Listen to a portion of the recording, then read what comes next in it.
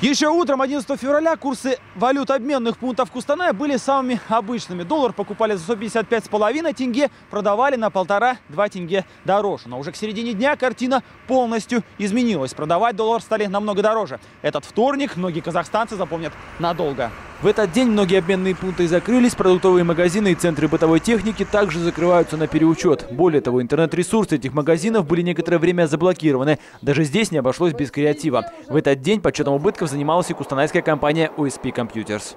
Можно с уверенностью сказать, что такие компании, как наша, уже начинают терпеть убытки в районе 20%.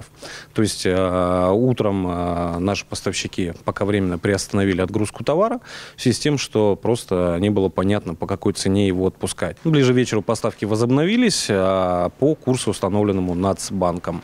Э, мы работаем в прежнем режиме, то есть завтра наши двери будут открыты также, но сейчас с уверенностью сказать, э, будут ли цены прежними, пока не представляется возможным. Падение тенге обозначилось после завершения торгов на казахстанской фондовой бирже. В это же время Национальный банк Казахстана распространил свое заявление. В сообщении сказано о том, что тенге отпустили в вольное плавание.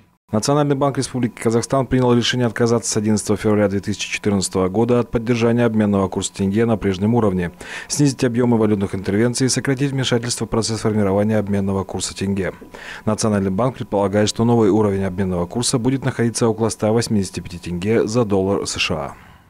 По подсчетам экономистов, рост в сравнении со вчерашним курсом произошел на 19%. Эксперты считают, что причин у Национального банка принять такое непростое решение было несколько. Во-первых, США стали привлекать инвестиции в свою экономику. Во-вторых, на девальвацию тенге повлияла нестабильность российского рубля.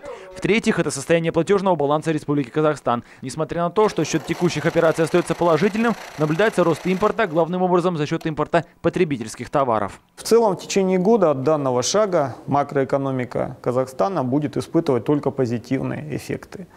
А, но, к сожалению, экономика не складывается только из макроэкономики. Есть еще микроэкономика, это уровень фирм, уровень домохозяйств, то есть людей.